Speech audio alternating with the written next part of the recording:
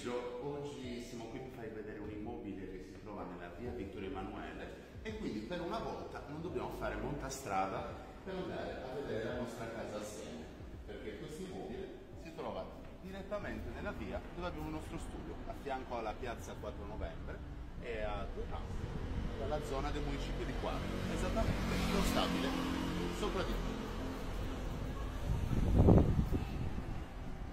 Andiamo al secondo piano con ascensore. Da questa parte saliamo per l'ascensore direttamente al secondo piano. Da questa parte siamo arrivati al secondo piano di questa palazzina che ha due appartamenti per piano. Adesso apriamo tutte le porte così facciamo entrare la luce perché è una casa molto luminosa.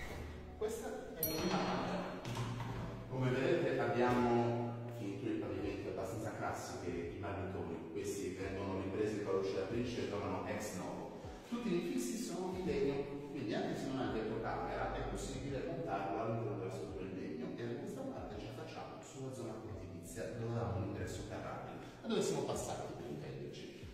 Inoltre, questa è una particolarità che ho trovato in poche case in questo periodo, armadi a parete, sfruttando questa rientranza una doppiante in legno. Ovviamente uno potrebbe anche scegliere di realizzare direttamente un armadio eh, classico nella stessa Tengo conto che entrambi gli armadi delle due stanze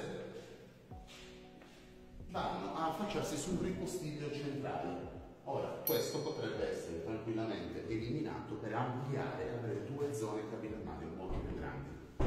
Andiamo a quello che è l'ambiente che il precedente proprietario usava come soggiorno,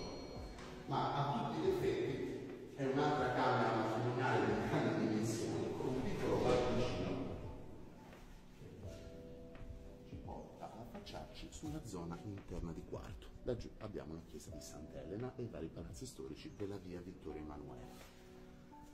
L'immobile ha avuto per tanti anni un inquilino all'interno, è stato poi ripreso proprietari per la vendita e attualmente bisogno di alcune manutenzioni per l'impiantistica. Ma in compenso abbiamo una gestione condominiale di ascensore una vista sicuramente più che gradevole, essendo un piano alto, ribadisco con ascensore. Qua siamo sulla parte interna, quella è Sant'Elena, l'altra è la chiesa di Sant'Antonio, sono sicuro che eravate attenti. Anzi, lamentate che a fine video faremo le nostre domande. Qua abbiamo ugualmente l'armadio a parete con questo che appunto è il lato odiante e vi ricordo, come stavamo dicendo prima, che all'interno abbiamo un ripostiglio, quindi non pensare di ampliarlo, ma adesso direi un bagno in camera. Tenete conto che attualmente l'immobile ha un bagno, anch'esso con affaccio nella medesima posizione, sempre sulla parte interna. Quell'affaccio che vedete è il medesimo da cui possiamo accedere tramite la balconata che è posizionata sulla cucina. Farà questa che rispecchia le vecchie scelte di placaggio a giro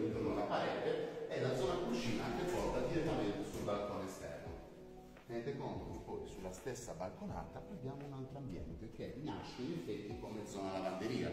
Abbiamo una braga che non possiamo sfruttarlo, ma ad ogni modo può essere comunque un ambiente di utilizzo per le varie funzioni familiari.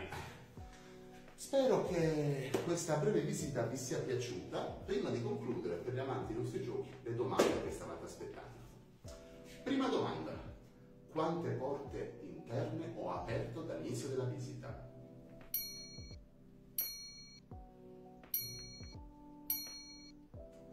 E ora la seconda domanda, vediamo se ci siete arrivati.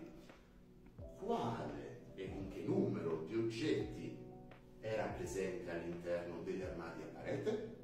Le risposte verranno messe giù nei commenti, ma comunque ve ne diamo alcune.